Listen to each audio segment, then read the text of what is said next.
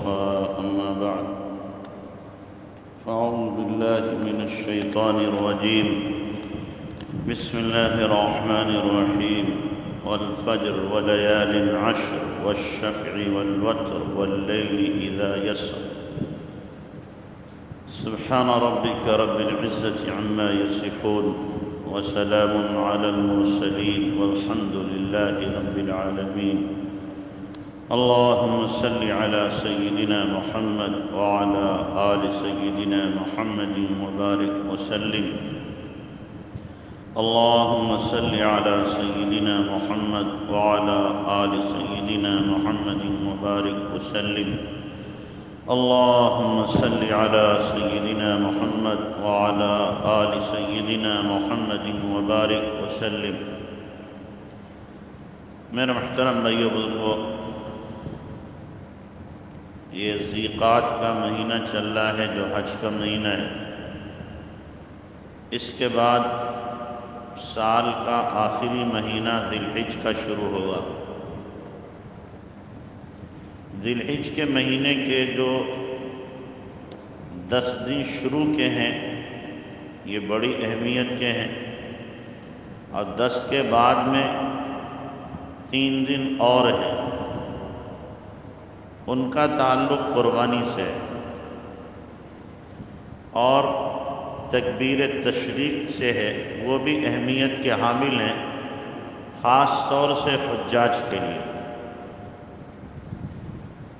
दिलहिजा के जो दस दिन शुरू के हैं, इनकी अहमियत का अंदाज़ा इससे लगाया जा सकता है कि अल्लाह ताला ने कुरान पाक में इन दस दिनों की कसम खाई है। अल्लाह को अपनी बात मनवाने के लिए कसम खाने की ज़रूरत नहीं है। वो अहकमुल हाकिमीन है, जो हुक्म दे दे, बंदों को मानना लाजिम है।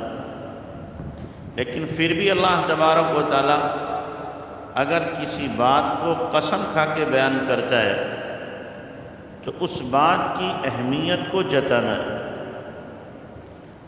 उस बात की अजमत को बढ़ाना है, और बंदों से बंदों के तखातुम में, बंदों के लहजे में बात करना जैसे हम आपस में जब मुखातब को देखते हैं, हमारी बात नहीं मानना सामने वाला तो कसम खा के कहते हैं। कसम अल्लाह की ऐसे ही है। तो आदमी समझता है कि अब तो बात ठीक ही होगी, इसने कसम खा ली है। अल्लाह तबारक व ताला हमारे समाज के एतबार से हमें समझाना चाहता है।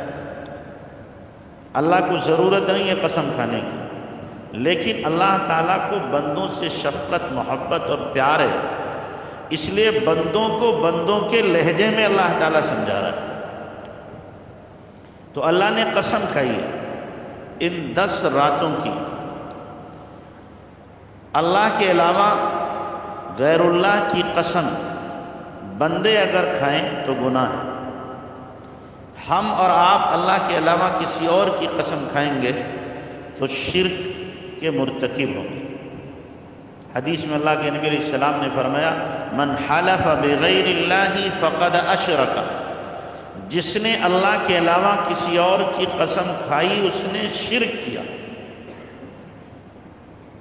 अंदाज़ा लगाए हम लोग, कितनी मरतबा, तेरे सर की कसम, तेरी जान की कसम, मैं अपने बेटे कसम खाता हूँ, बीवी कसम खाता हूँ, इस रोज़ी बैठा हूँ, इसकी कसम।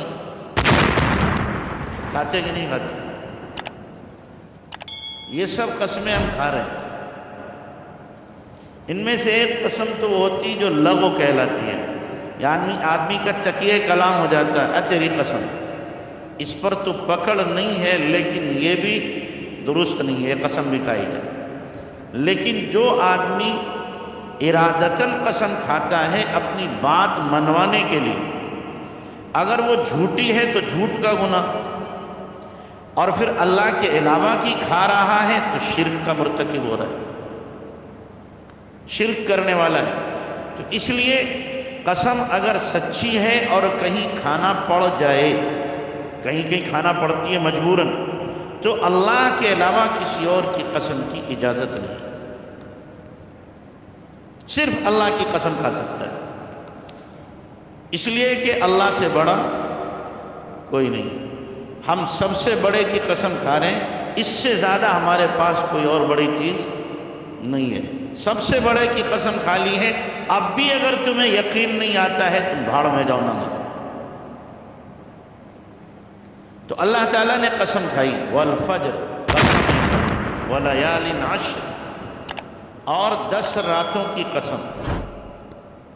कि पहली से जो रातें शुरू होंगी चाँद निकलेगा, वो रात शुरू हो जाएगी। आज सत्ताईस तारीख है। अट्ठाईस कल, परसों उनतीस। उनतीस का भी चाँद हो सकता है, तीस का भी चाँद हो सकता है।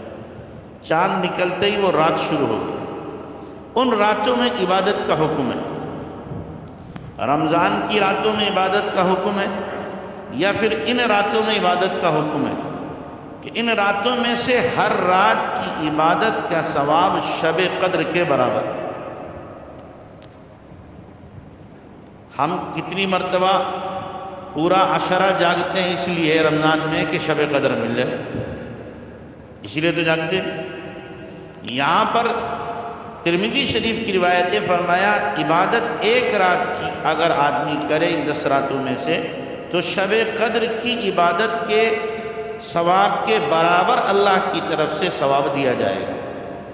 और शब कदर में अगर कोई इबादत करे तो कितना सवाब है? एक हज़ार महीनों की इबादत का सवाब है। यानी तिरासी साल कुछ महीने। तो दस रातें अगर कोई आदमी मुसलसल जाग ले और इबादत कर ले, कितने सौ साल की इबादत हो जाएगी। कितने सौ साल की इबादत होगी? तो इसलिए करने वाले के लिए तो मुश्किल नहीं, करने वाले करते हैं। इबादत करने वाले इन रातों को वसूल करते हैं। और कुछ नहीं, अगर पूरी रात इबादत नहीं कर सकते हैं तो कम से कम तहजदी पढ़ रात में तीन बजे, ढाई बजे उठ जाए, दो चार रकात तहजद पढ़ करके अल्लाह से मांग लें, तिलावत कर लें, दो चार तस्वीर पढ़ लें, फजर पढ़ के फिर चाहे सो जाए। तो कम से कम हमारा लिस्ट में नाम तो आ जाए। कि इन रातों में ये भी क्या है? जागा है किसी न किसी दर्जे में, इसने भी इबादत की है तो उंगली कटा के शहीदों में नाम हम भी लिखा लेंगे। तो इसलिए कुछ न कुछ इन दस रातों में इबादत का हिस्सा हमें मिलना चाहिए। और अगर कोई आदमी इतना भी ना कर सके तो भाई इससे तो कम पे राज़ी ना हो कि ईशा जमात से पढ़े और फजर क्या पढ़ ले जमात से पढ़ ईशा जमात से पढ़ ले। और इन रातों में, मान लीजिए, मगरिब में अवाबीन की पाबंदी कर ले। मगरिब से रात शुरू हो गई। अवाबीन की पाबंदी कर, पढ़ ली, कर ली आदमी ने। दो रकात पढ़ के छह रकातें और पढ़ ली। या उन दो रकातों में ही नियत कर ली। तो छह रकातें पढ़ ली आदमी ने। फिर ईशा में आदमी, फ़र्ज़ पढ़ने के बाद दो नफल पढ़, दो सुन्नत पढ़ना है। उसके बाद में दो नफल पढ़ लिए, उसमें तहजद की नियत कर ली। वित्र के बाद के दो नफल हैं, उसमें तहजद की नियत कर ली, दो चार रकात और पढ़ ली, आखिर में वितर पढ़ लिए, हो गई तहजद एक आदमी मुर्गे से रोटी खा रहा, दूसरा चटनी से खा रहा, पेट तो दोनों का भरेगा। ना खाने वाले से तो चटनी से खाने वाला बेहतर। अगर हम सुबह को नहीं उठ पा रहे हैं तो कम से कम ईशा की नमाज़ ही में तहजद की नीयत से ये नफल पढ़ लेंगे अल्लाह ताला हमारा भी पेट भर देगा। किसी न किसी दर्जे में इन रातों के अनवारात तो तजलियात अल्लाह तबारक ताला हमें भी क्या है? अता फरमा देगा। तो इससे कम पे तो हमें राज़ी नहीं होना चाहिए। और फिर फजर क्या करें हम? जमात से पढ़ने। अल्लाह तबारक ताला जब इन रातों में इबादत करने वालों को अपनी नवादिशात से नवाजेगा और अपनी तरफ़ से उनको इनाम देगा न कुछ छींटे हमें भी मिल जाएँगी इंशाल्लाह। और ये रातें अल्लाह ताला ने दी इसलिए हैं कि हाजी वहाँ हज करने गए हैं। वहाँ तो हर हर कदम पर उनको कितना मिल रहा है? सात सात करोड़ नेकियाँ मिल रही हैं हर हर कदम पे। एक रुपया खर्च करने पर सात करोड़ ने रुपया खर्च करने का उनको सवाब दिया जा रहा है। तो अब यहाँ पर बंदे रहें अब बेचारे मजबूर हैं। कुछ जा सकते थे, इन हालात की वजह से नहीं जा रहे। कुछ जा ही नहीं सकते थे, उनके पास असबाब नहीं है। दिल अंदर से तड़पता है, मचलता है कि हम भी जाते। तो अल्लाह तबारक व ताला पाबंदियों का मोहताज नहीं है। जब अपने वहाँ के बंदों को अता फरमाएगा तो यहाँ जो तड़प रखने वाले बंदे, उनको भी कुछ ना कुछ ज़रूर अता फरमाएगा कुछ न कुछ अल्लाह ताला ज़रूर उनको भी अता करेगा एक मरता हाजी इमदादुल्ला महाजिर मक्की रहमत जब मक्का मुकरमा में हिजरत करके तशरीफ़ ले गए थे तो शरीफ मक्का जो था, वो नालायक आदमी था। उसको मालूम हो गया, उसने अपना आदमी भेजा। उसने सख्ती से बात करना चाहिए तो हाजी साहब ने अजीब बात की। हज़रत थानवी फरमाते हैं, मैं तो डर रहा था कि हाजी साहब अगर सख्ती से बात करेंगे, मक्का से निकालना दिया जाए। लेकिन हाजी मदला महाजिर मक्की रहमत सख्ती से बात की और उस आने वाले बंदे से कहा, सुनो मियाँ, सुन लो, हम यहाँ पे रहेंगे, यहाँ भी हमारा काबा है। हम कहीं भी जाएँगे, अल्लाह हमें काबे की अनवारात से वहाँ भी हमें नवाजेगा हम अल्लाह को मानने वाले हैं और अल्लाह किसी जगह का पाबंद नहीं है। काबे की तजल्लियात अल्लाह हमें दूसरे जगह भी देगा। बाज लोग मक्का में रहते हैं, लेकिन काबे की बरकतों से महरूम रहते हैं। बाज लोग हिंदुस्तान में रहते हैं, काबे की बरकतों से अल्लाह उनको नवाजता है। उनके दिली लगाव की वजह से, दिली ताल्लुक की वजह से। तो बहरहाल, जब अल्लाह तबारक ताला उन हजाज को अता फरमाएगा तो यहाँ पर जो तड़पने वाले, मचलने वाले और अल्लाह से मोहब्बत रखने वाले और किसी न किसी दर्जे में इबादत करने वाले हैं तो अल्लाह ताला उनको भी महरूम नहीं करेगा, कुछ ना कुछ उनको ज़रूर अता फरमाएगा। इसीलिए फरमाया गया है कि तुम रातों में इबादत करो और दिन में रोजा रखो। दिन में क्या रखो? रोजा। इन दस रातों, दिनों में रोज़े का हुक्म है। और रोज़े पर सवाब कितना है कि एक रोज़े का सवाब एक साल के रोजों के बराबर। और नवी जिलिज्जा का जो रोजा है, जिस दिन हज होता है, नवी जिलिज्जा के रोज़े का सवाब ये फर, अल्लाह के नबी ने फरमाया, इब्न माजा की रिवायत है उम्मीद है कि अल्लाह एक साल अगले और एक साल पिछले गुना माफ़ कर दे। एक दिन के रोज़े पर अल्लाह तबारक वाली इतना जब हमें दे रहा है तो हम अपना दामन क्यों तंग करने लेने के लिए?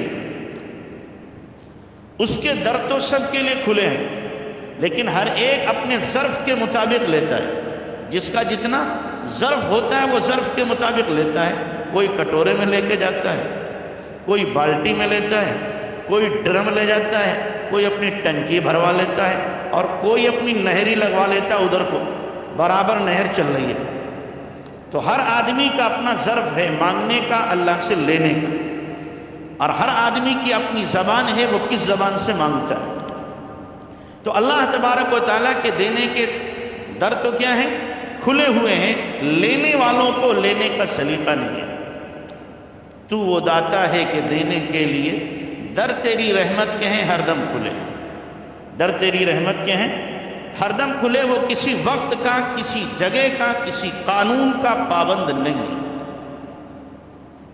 तो हमें हुक्म है इन दस दिनों में रोजा रखने का। लेकिन ये रोजा कोई फर्द नहीं है, वाजिब नहीं है, सुन्नत नहीं है, नफल है। रखेंगे तो सवाब पाएँगे। नहीं रखेंगे, अल्लाह की तरफ़ से पकड़ नहीं है। अलबत्ता उन दिनों के अनवारात बरकत हमें नहीं मिलेंगे। इसीलिए कहा गया कि चाँद देखने के बाद जो लोग कुर्बानी करना चाहते हैं, वो लोग अपने नाखून ना काटें, अपनी लबे न तराशें। क्यों ये हुक्म दिया गया? कि उधर हमने हाजियों को हुक्म दिया। हाजियों को हुक्म क्या है? एहराम बांधने के बाद में अब वो बाल भी नहीं काट सकते, नाखून भी नहीं काट सकते और इसी तरीके से खुशबू भी नहीं लगा सकते, अपने जिस्म के बाल तोड़ भी नहीं सकते, शिकार नहीं कर सकते, सारी चीज़ों से उनको क्या कर दिया गया? रोक दिया गया। यहाँ पर जो अल्लाह के बंदे मौजूद हैं तो अल्लाह ने कहा, भाई, ऐसा करो, तुम हज तो नहीं कर सकते, लेकिन हाजियों जैसी सूरत बना लो अपनी। क्या करो? हाजियों के साथ मुशाबात अख्तियार कर लो किसी न किसी दर्जे की। वो बाल नहीं बना रहे, तुम भी बाल ना बनाओ अपने। वो नाखून नहीं काट रहे, तुम भी अपने नाखून ना काटो। और वो वहाँ इबादत कर रहे, तुम यहाँ इबादत करो। मुशाबहत हो जाएगी, अल्लाह तबारक ताला मुशाबहत को हकीकत में कभी कभी तब्दील फरमा देते हैं। मुशाबहत को क्या करते हैं? हकीकत में तब्दील फरमाते हैं। मैंने बारह बताया कि मूसा सलाम का मुकाबला जादूगरों से हुआ।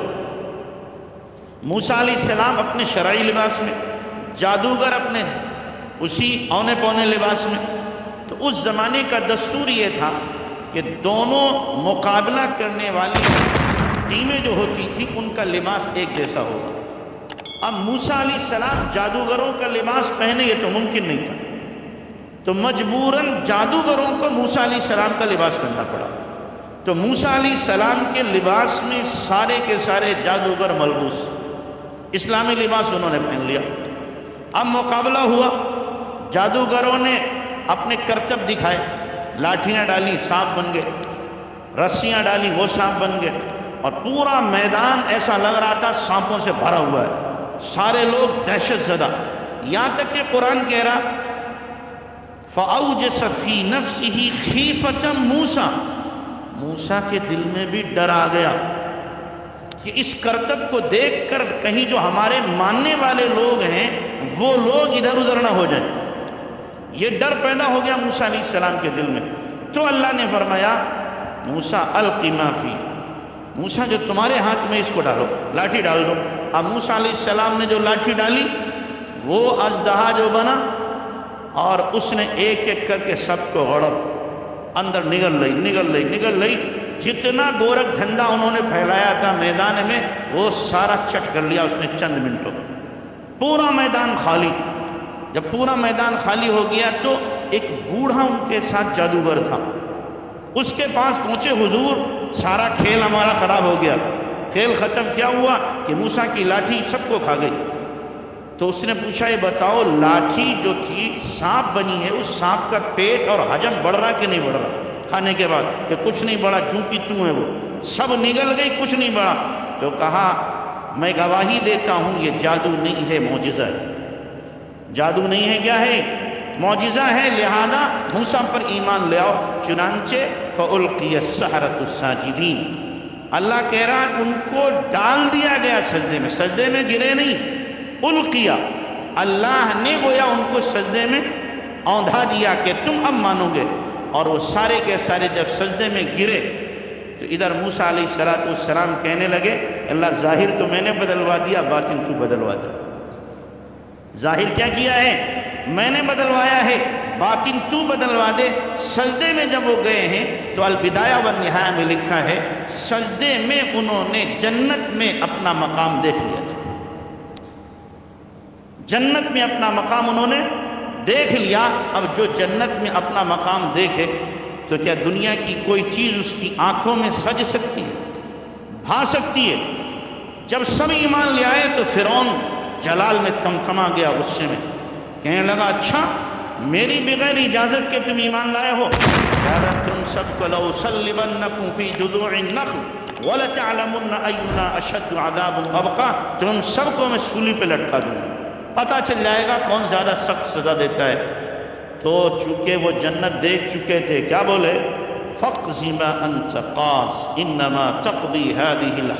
दुनिया। सुन ले फिर जो कर सकता है कर गुजर तो दुनिया में सजा देगा। हमारे लिए आखिरत तैयार हो चुकी है। हम अपनी आखिरत को, जन्नत को तेरे इन इनामात के मुकाबले में जो तूने हमें इनाम देने का वादा किया है, नहीं छोड़ सकते। सबको उन्होंने क्या किया? ठुकरा दिया। सबको ठुकरा दिया। अल्लाह तबारक वाली ने यह ईमान की तोफीक उन्हें दी किस बुनियाद पर? ज़ाहिर उन्होंने नबी जैसा बनाया था। कैसा बनाया था? ज़ाहिर नबी जैसा बनाया था बातिन अल्लाह तबारक ताला ने बना दिया। मेरे भाइयों, हम भी आपसे कहते हैं अपना ज़ाहिर नबी जैसा बना लो।